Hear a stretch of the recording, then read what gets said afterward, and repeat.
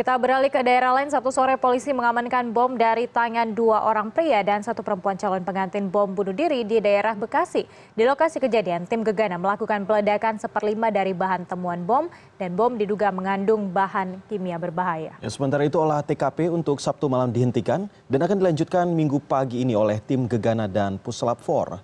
Usai diamankannya, tiga orang terduga pelaku tim Gegana Polda Metro Jaya Jumat malam meledakkan seperlima bagian dari bom yang ditemukan. Menurut Kapolres Metro Bekasi Kota, bom tersebut diledakkan di lokasi kejadian dengan standar operasional khusus, yaitu dengan mengevakuasi warga sekitar dalam radius 300 meter dan merendam bom tersebut terlebih dahulu.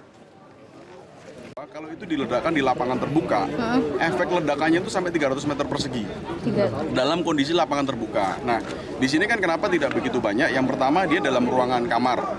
Yang kedua sudah dilakukan mungkin diselimuti atau di apa saya nggak tahu lah diredam oleh dari pihak uh, Gegana sehingga ledakannya itu ledakan yang muncul tadi perkiraan itu hanya seperlima dari ledakan aslinya kalau tidak dilakukan upaya-upaya satu dua dan sebagainya dari uh, dari pihak uh, apa namanya dari pihak brimob hmm. makanya dengan pertimbangan-pertimbangan itu akhirnya diputuskan untuk dilakukan uh, penghancuran atau disposal di uh, TKP. Hmm.